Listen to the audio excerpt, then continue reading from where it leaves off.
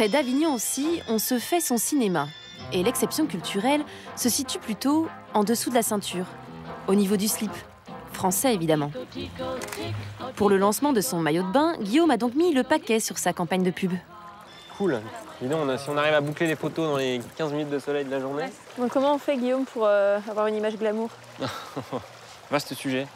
Euh, moi, ce que j'ai en tête euh, depuis le début où on s'est dit on va faire des maillots de bain, c'est vraiment le côté Saint-Tropez. J'ai toutes les images de Brigitte Bardot euh, marchant à Saint-Tropez dans sa jeunesse, euh, Alain Delon dans le film La piscine.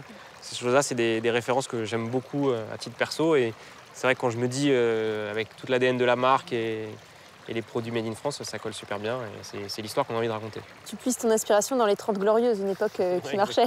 Une, ép- une époque qui marchait, mais en même temps, euh, on est sur Twitter, Facebook et on garde ce côté moderne. Et en fait, on n'est pas euh, coincé dans cette époque-là. On prend plein de, un univers qui est hyper riche et on le ramène aujourd'hui avec tous nos moyens modernes. Et je pense que c'est ça qui est hyper sympa, c'est de mélanger euh, l'ancien et le nouveau.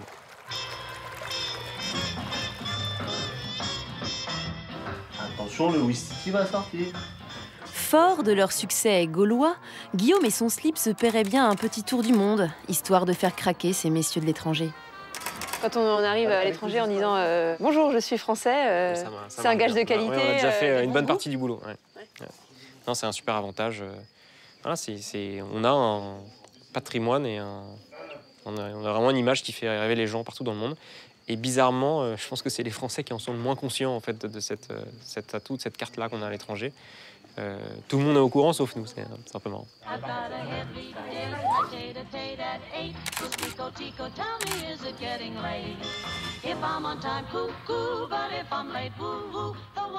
Et quand le slip se porte bien, C'est une des blagues un peu Nico.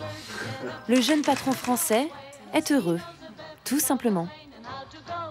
Vous travaillez toujours avec le sourire. Euh, j'essaye, ouais, j'essaye. Je crois que c'est important.